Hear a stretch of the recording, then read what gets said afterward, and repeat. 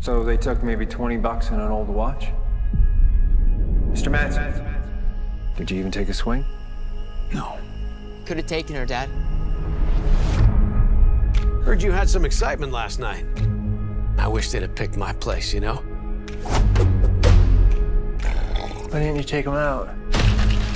I was just trying to keep the damage to a minimum. Yeah, how's that working out for you? You okay? Because you don't look okay. There's a long dormant piece of me that so very badly wants out. What are you still doing here, old man? I'm gonna fuck you up.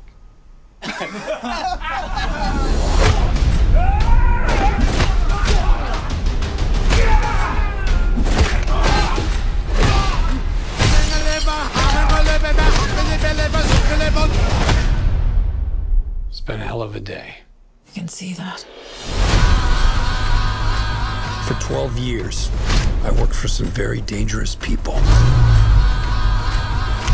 Everybody get to the basement. What is happening? Don't call 911. I used to be what they call an auditor. The last guy anyone wants to see at their door. Because it meant you didn't have long to live. But I left it behind to start a family. I might have uh, overcorrected.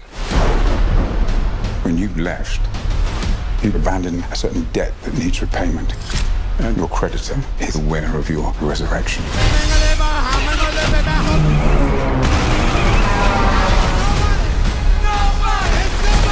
Came after my family.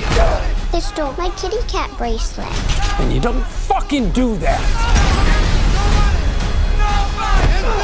Give me the goddamn kitty cat bracelet!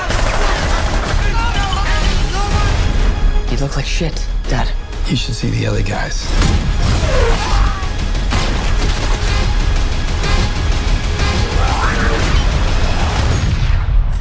Who the fuck are you?